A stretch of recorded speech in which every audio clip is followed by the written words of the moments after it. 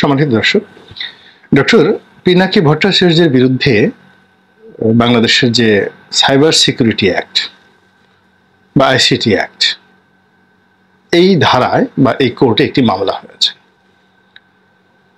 এবং এটা ডক্টর পিনাকি তিনি তার নিজের যে ইউটিউব চ্যানেল, সেখানে তিনি বলেছেন।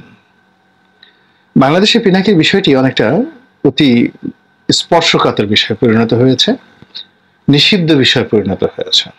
আসসালামু আলাইকুম, সম্মানিত বন্ধুরা, শুভেচ্ছা নেবেন। ডক্টর ফিনাকি ভট্টাচার্যকে আপনারা সকলে চিনেন। তার জীবন বর্তমানে কঠিন ঝুঁকিতে আছে। তাকে ধরতে পারলে আওয়ামী লীগ সরকার ফাঁসিতে ঝুলাবে। এমনকি বর্তমানে তার বিরুদ্ধে গ্রেপ্তারি পরোয়ানা জারি হয়েছে। সম্মানিত দর্শক, বিভিন্ন প্রসঙ্গ নিয়ে আপনি নাকি ভট্টাচার্যকে নিয়ে অনেক তথ্য তুলে ধরেছে গুলাম মাল্লা রুনি। আজকের এই নিউজে অনেক তথ্য পাবেন যে বর্তমানে কতটা ঝুঁকিতে আছে পিনাকি ভট্টাচার্য। আমরা কথা বলাচ্ছি না, চলে যাচ্ছে স্ক্রিনে। অর্থাৎ তার ভিডিও সবাই দেখে। সরকারের দল, বিরোধী দল সবাই দেখে। তো এক পক্ষ দেখে যে কি বলল, আর আরেক পক্ষ দেখে মনের আনন্দে। এবং তিনি এই সামাজিক মাধ্যমকে ব্যবহার করে বাংলাদেশে যে একটা ইনফ্লুয়েন্স তৈরি করে ফেলেছেন, সেই ইনফ্লুয়েন্সের ক্ষেত্রে দ্বিতীয় ব্যক্তি নেই। ফেসবুক ব্যবহার করে বাংলাদেশে যেমন সুমন, ব্যারিস্টার সুমন সংসদ সদস্য হয়ে গিয়েছেন। অনাগত দিনে পিনাকে যদি এই ফেসবুক এবং ইউটিউব এখানে উনি ফেসবুক ব্যবহার করেন না ইউটিউবের কথাই বলি। ইউটিউব ব্যবহার করে অনাগত দিনে তিনি তিনি বাংলাদেশের প্রেসিডেন্ট হয়ে যান। বিএনপি ক্ষমতায় আসলো, জামাত ক্ষমতায় আসলো এবং ডক্টর পিনাকিকে বাংলাদেশের প্রেসিডেন্ট বানানো হলো। এটি অসম্ভব কোনো বিষয় নয়। তিনি সেই পর্যায়ে চলে গেছেন। এবং তার মতো মানুষ এখন আমাদের শাহাবুদ্দিন চুপ্পু সাহেব বাংলাদেশের প্রেসিডেন্ট রয়েছেন। এটা কেউ বলতে পারে না যে আসলে রাষ্ট্রটিকে কার কপালে কীভাবে আছে। তো ডক্টর পিনাকি যেভাবে একের পর এক পরিশ্রম করে যাচ্ছেন, কষ্ট করে যাচ্ছেন, ঝুঁকি নিচ্ছেন তার ফলে কি হচ্ছে তিনি যাদের জন্য করছেন, সেখানে তার জন্য একটা স্পেস তৈরি হচ্ছে, বিশাল একটা স্পেস তৈরি হচ্ছে। সেই স্পেসের মাধ্যমে তিনি বড় কিছু একটা হয়ে যেতে পারেন, বড় কিছু। এমন দেখা গেল যে তাকে এনে পিজি হাসপাতাল বা বঙ্গবন্ধু মেডিকেল কলেজের ভাইস চ্যান্সেলার করে দেওয়া হতে পারে। তাকে স্বাস্থ্যমন্ত্রী বানানো হতে পারে। এখন আপনি চিন্তা করেন, বর্তমান যিনি স্বাস্থ্যমন্ত্রী রয়েছেন তার সঙ্গে যদি আওয়ামী লীগের সম্পর্ক দেখেন রাজনীতির সম্পর্ক দেখেন সে তুলনায় এখন বিএনপি জামাতকে যে সাপোর্ট দিচ্ছে ডক্টর পিনাকি, তো অনাগত দিনে যদি বিএনপি জামাত ক্ষমতা আসে, তো তাকে যদি স্বাস্থ্যমন্ত্রী বানানো হয়, তাহলে এখন যে ডাক্তার রঙ্গলাল সেন, না, ওনার নাম রঙ্গলাল সেন না, আমি নামটা ভুলে গেছি এখন এই মুহূর্তে যিনি আছেন, রঙ্গলাল সেনই তো হবেন। তো তিনি যদি অরাজনৈতিক ব্যক্তিত্ব হয়ে কেবলমাত্র একটা burn unit Sheikh Hasina burn unit এর প্রধান হিসাবে শেখ হাসিনার খুব কাছাকাছি গিয়ে কেবলমাত্র ব্যক্তির পছন্দে যদি স্বাস্থ্যমন্ত্রী হতে পারেন, তাহলে পিনাকি কেন স্বাস্থ্যমন্ত্রী হবেন না বিএনপি জামাতের?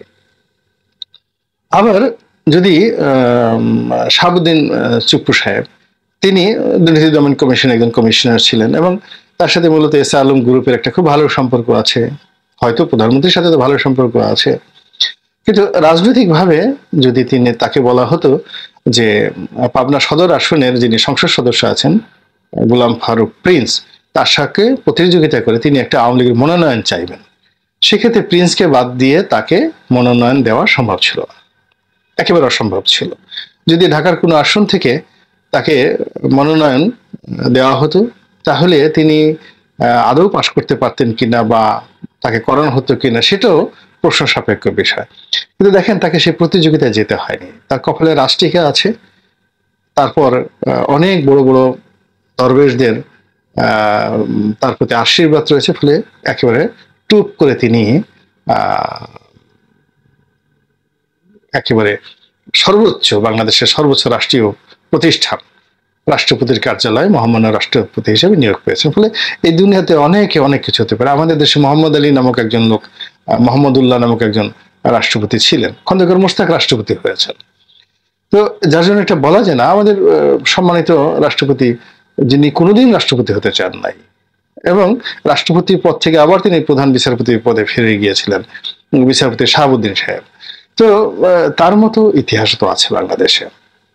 এই জন্য ক্ষমতা কখন কোন জায়গায় যায় বলা যায় না। তো পিনাকির ভাগ্যে অনাগত দিনে কি আছে একমাত্র সেই বলতে পারে, এবং এটি যেমন ইতিবাচক দিক এবং তার যারা প্রতিপক্ষ, তিনি যাদেরকে বাস দিচ্ছেন, যাদেরকে গালি দিচ্ছেন, যাদেরকে আঙ্গুল বাঁকা করে বিভিন্ন জায়গাতে তার আঙ্গুল ঢুকিয়ে দিচ্ছেন, তারপরে তিনি যাদেরকে তুচ্ছ করছেন, তাচ্ছিল্য করছেন, চোদ্দ গোষ্ঠী উদ্ধার করছেন, বাপ মা তুলে গালাগালি করছেন, এরপরে কাউকে রাজা বানাচ্ছেন, কাউকে প্রজা বানাচ্ছেন মানে তিনি পুরো তার যে ভিডিও, যে কন্টেন্টগুলো আছে, সেই টোটাল ভিডিও কন্টেন্টে তিনি যে কর্মকাণ্ড করছেন, সেখানে হি ইজ দ্য কিং এবং he is the king maker তিনি নিজে রাজা এবং তিনি যাকে ইচ্ছা থেকে রাজা বানাচ্ছেন এবং তার সঙ্গে সঙ্গে আবার অনেককে প্রজাও বানিয়ে ফেলছেন। এর ফলে কি হচ্ছে? তার যারা প্রতিপক্ষ, তারা প্রতিপক্ষ হলো যে উমরে যাক, ওর গায়ে কিড়ে পড়ুক, ওকে দাফন করা হোক, ওকে জ্বালিয়ে পুড়িয়ে চিতায় ভস্য বানিয়ে তারপরে নদী সাগর পাহাড় পর্বতে ও সেই ছাইগুলো উড়িয়ে দেওয়া হোক। এই ধরনের একটা বিক্ষুব্ধ মনোভাব তার প্রতিপক্ষের মধ্যে থাকবে, এটা স্বাভাবিক। অথবা কেউ হয়তো মনে করবে যে, ইস, যদি একবার পেতাম, ওরা যদি ধরে আনা যেত, ওকে ঢুকিয়ে, হাজতের মধ্যে ঢুকিয়ে, একটা বাঁশ ডলা দিতাম, হাওমা করে ও কাঁদতো, সেই দৃশ্য দেখতাম। এরপরে ওকে কুচি কুচি করে ওর বিভিন্ন জায়গাতে সুই ঢুকিয়ে দিয়ে, তার মধ্যে আবার সেই মরিচের ইঞ্জেকশন কাঁচা মরিচের, বোম্বাই মরিচের ইঞ্জেকশন ঢুকিয়ে দেওয়ার পরে যে চিৎকার করতো, সেই চিৎকার করলে ও যে আমাকে গালাগালি করছে বা আমাদেরকে গালাগালি করেছে এইটির ব্যাপারে একটু তৃপ্তি পেতাম। এই ধরনের একটা এক্সট্রিম পর্যায়ে কিন্তু সে চলে গেছে। তো কাজেই সে যদি বিজয়ী হয়, বিজয়ী হওয়ার যেমন শুভ ফলাফল অনেক ঊর্ধ্বে, আর যদি তার যারা প্রতিপক্ষ রয়েছে, তারা যদি তাকে ধরতে পারে তারা যদি তাকে আনতে পারে, তারা যদি তাকে ব্যবস্থা নিতে পারে, তাহলে সর্বনাশ হয়ে যাবে। মারাত্মক সর্বনাশ হয়ে যাবে এবং আপনারা জানেন যে এই যে কর্নেল ফারুক রশিদ, এই যে কর্নেল ফারুক ধরা হয়েছে, মারা হয়েছে।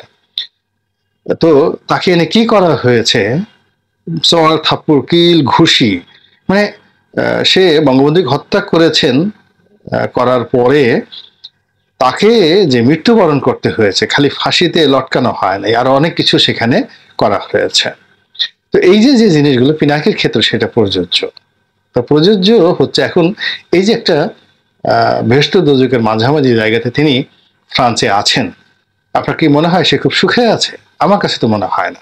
সে হাসেন, তিনি হাসেন, কথা বলেন উজ্জীবিত করেন অনেকে, কিন্তু তার যে ভয় নেই বা তার যে আতঙ্ক নেই এর কোনো রিজন কারণ হলো পশ্চিমা দুনিয়া এখন তিনি ফ্রান্সের খুব আপনজন হিসেবে আছেন সরকার থেকে প্রোটেকশন দিচ্ছে।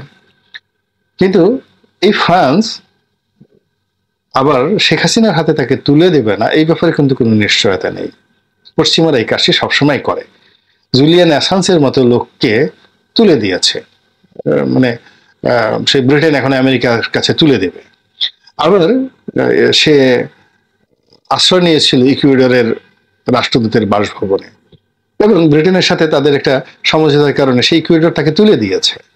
তো কাজেই এই যে এখন ফ্রান্সের সঙ্গে বাংলাদেশে একটা বড় বাণিজ্যিক লেনদেন হচ্ছে। তো বাণিজ্যিক লেনদেন হচ্ছে এবং সেই বাণিজ্যিক লেনদেন হলো আমরা সেখান থেকে বিমান কিনছি। আমেরিকাকে বাদ দিয়ে ফ্রান্সের বিমান কিনছি। এবং বিমান কেনার কারণে কি হচ্ছে? ফ্রান্সের যিনি এখন প্রেসিডেন্ট রয়েছেন ইম্মানুয়েল ম্যাক্রো, তিনি সরাসরি বাংলাদেশে এসে মাননীয় প্রধানমন্ত্রীর সঙ্গে দেখা করে গিয়েছেন। এবং the relation was just like a mother and son প্রধানমন্ত্রীকে তিনি মায়ের মতো করে তিনি শ্রদ্ধা দেখিয়েছেন, তাকে আলিঙ্গন করেছেন এবং যাওয়ার সময় একটা হৃদয় বিদারক দৃশ্য, মনে হয় যেন মাকে ছেড়ে যাচ্ছেন। এরকম একটা অভিব্যক্তি কিন্তু ইমানুয়েল ম্যাক্রোর চোখে মুখে চলে আসছে।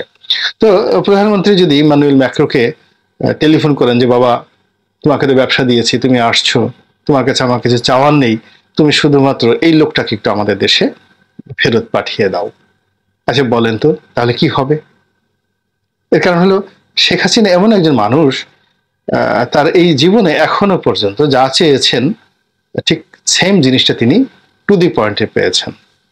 কাউকে সম্মান করার ক্ষেত্রে পেয়েছেন, অসম্মান করার ক্ষেত্রে পেয়েছেন, প্রতিশোধ নেওয়ার ক্ষেত্রে পেয়েছেন, দামি নির্বাচন করতে চেয়েছেন, মোদীকে খেলতে চেয়েছেন, আমেরিকাকে খেলতে চেয়েছেন, রাশিয়াকে নিয়ে খেলেছেন, চীনকে ঘুরাচ্ছেন। সমান তালে তিনি বেগম খালেদা জিয়াকে জেলে ঢুকিয়েছেন, আবার তাকে জেলখানা থেকে বের করেছেন, তাকে নিজের বাড়িতে রেখেছেন, আবার খুঁটা দিচ্ছেন যে আমি রেখেছি। আল্লাহ তাকে কি না দিয়েছেন? এমন কোনো জিনিস নেই শেখ হাসিনাকে আল্লাহ দেননি। তো কাজী শেখ হাসিনা যদি চান যে পিনাকি আসবে, বাংলাদেশে আসবে, তিনি দরকার হলে ফ্রান্সের এখন যা কিছু কেনার দরকার আছে, তার চেয়ে আরও ক্রয় আদেশ ডবল করে দেবেন, দ্বিগুণ করে দেবেন। যে আমি আরও বেশি বেশি জিনিস কিনবো, কিন্তু শর্ত হলো এই ওয়ার্ক অর্ডার দেওয়ার আগে, এক হাতে ওয়ার্ক অর্ডার আর এক হাতে স্পেশাল বিমানে করে পিনাকিকে বাংলাদেশে পাঠিয়ে দিতে হবে। এবং তাই যদি হয়, আপনি কি খুব বেশি আশ্চর্য হবেন? এবং পিনাকি খুব আশ্চর্য হবে। না, পিনাকি এটা জানে। এটা জানার পরেও সে কিন্তু তার কর্মকাণ্ড সে চালিয়ে যাচ্ছে ঝুঁকি নিয়ে। এবং যারা জীবনে ঝুঁকি নেয়, তারা পরাজিত হলেও বীরের মতো পরাজিত হয়। আর যদি বিজয়ী হয়, তাহলে তারা বীরের মতো বিজয়ী হয়। সময় আসুক। কি হচ্ছে দেখা যাক। আসসালামু আলাইকুম। সম্মানিত দর্শক, অনেক আলোচনা দেখতে পেয়েছি। ডক্টর ফিনাকি ভট্টাচার্যকে নিয়ে অনেক আলোচনা করেছে। আজকের এই ভিডিওর মাধ্যমে গোলাম আলার উনি। আজকের এই নিউজে যে তথ্যগুলো পেয়েছেন বর্তমানে কতটা ঝুঁকিতে আছে পিনাকি ভট্টাচার্য, এই বিষয় নিয়ে গোলাম উনি অনেক আলোচনা করেছে। আপনাদের মতামত কি অবশ্যই মেসেজ করে জানাতে পারেন। বন্ধুরা, আমার এই চ্যানেলটি যারা এখন পর্যন্ত সাবস্ক্রাইব করেন নাই, নিত্য নতুন ভিডিও পেতে সাবস্ক্রাইব করে আমাদের সাথে থাকবেন। ভালো থাকবেন। আসসালামু আলাইকুম।